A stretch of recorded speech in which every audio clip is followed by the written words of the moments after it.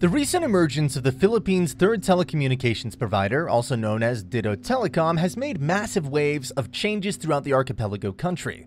Segmenting itself as an immediately upcoming competitor enabled it to have more than 10 million registered customers in just less than two years of operations.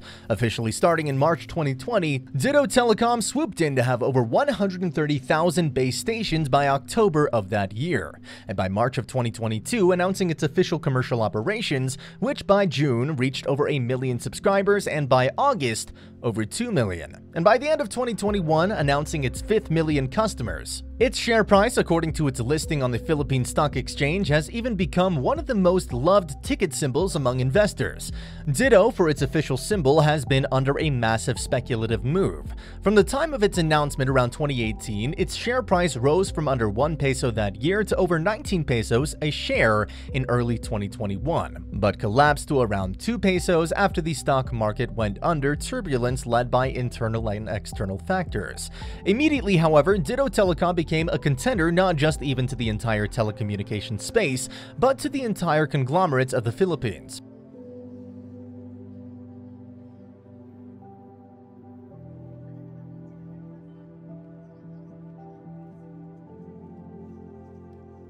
Here is an upcoming newcomer business that can swoop in to buy other mega businesses. However, there is just one problem. Dito Telecom's rise is fueled by one factor debt.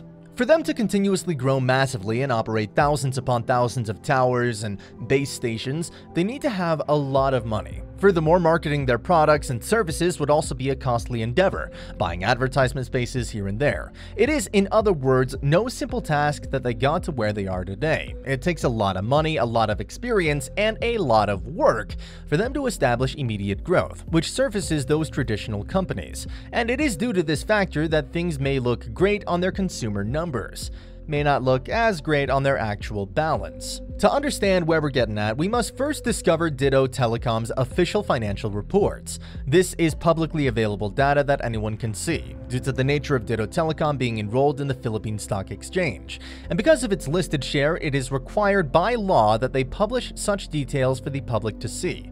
Now, before we get into the scenario of where the company is at today, let us first take a quick look at its previous years. When Dito Telecom was granted its permit in 2019, it immediately had to act fast, which also means that it needs to burn cash to fuel its initial operations. Therefore, as the company was already listed on the public stock exchange due to its previous operating name, known as the Mislatel Telecom Company, they had announced that by the end of 2020, they had already burned over 2.6 billion pesos in cash.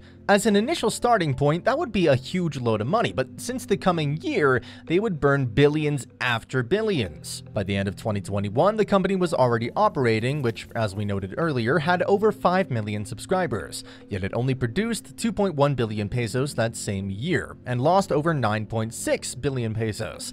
Now, here comes the latest data published by the end of September 2022. The company, as of trailing 12 months, had lost a whopping 18.5 5 billion pesos and only made sales of about 6.1 billion pesos.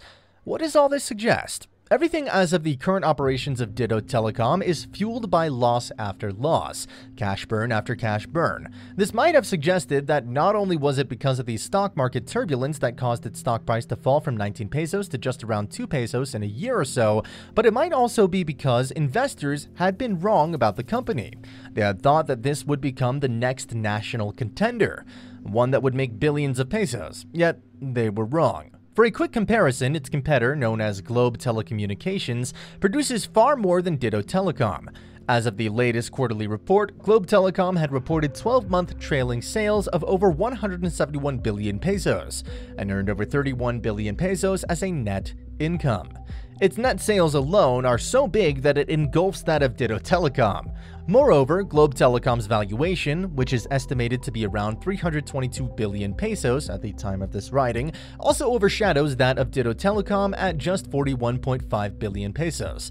Yet, do take note that there was a time Dito Telecom's valuation was nearly 400 billion pesos, since its share price had fallen from 19 pesos to just 2 pesos. But that's not the only thing we need to talk about. We need to discuss the future of Dito Telecom based on its balance sheet, and whether or not it can continuously operate with such a degree of financial losses. The company has reported that as of the latest quarterly report, it had over 196 billion pesos worth of total liabilities. If you're not aware of this term, liabilities are simply the financial obligations of a company. A huge amount because it also overshadows the company's total assets, which are just 167 billion pesos. This suggests that the company has more debt in its pockets than the amount of money that it holds debt to assets of about 117%. So this raises the basis of a most important question.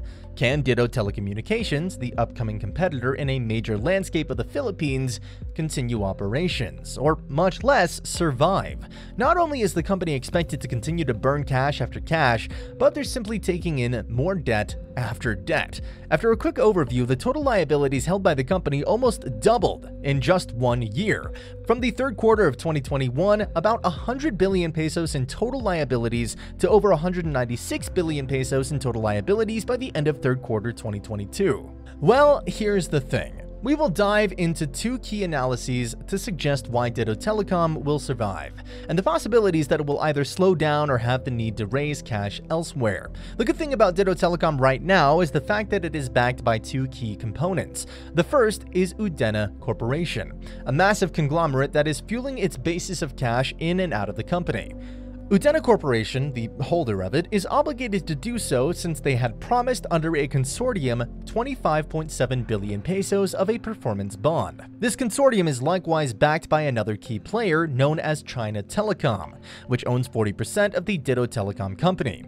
By this standard, we can immediately recognize that with two big corporations backing Dito Telecom, we can rest assured of its viability to continuously operate under such pressure. However, Here's the key analysis that we find why Dito Telecom will need to do something about. Dito Telecom's immediate increase in total liabilities and continuous cash burning is simply suggesting one thing. They need to continuously have a cash flow going into the company by these backers. Either it is through the continuous increase of company debt or financial cash flow from the parent companies. But the company can't always raise money. There will be a time when they will hit a wall, especially if they're faced with a challenge. For instance, a challenge concerning its competitors, which are raising barriers to Dito Telecom. A challenge that can can be unforeseen, such as an external factor that can harm the economy of the Philippines and deteriorate their strategies. Hence, if there was a probability of a challenge unforeseen, it would immediately impact Dito Telecom's operations.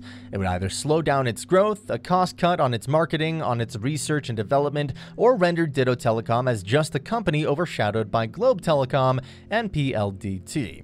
However, there are just assumptions. If we take a look at the grand standard of things, Dito Telecom still may be able to outshine, simply because it has the backing of China Telecom, one of the world's largest telecommunications providers, and also has stakes in other businesses. But anyway, this video is made for entertainment purposes only and does not serve as financial advice. Do let us know, however, if you think Dito Telecom can continue this stride of cash burns. Thanks for watching.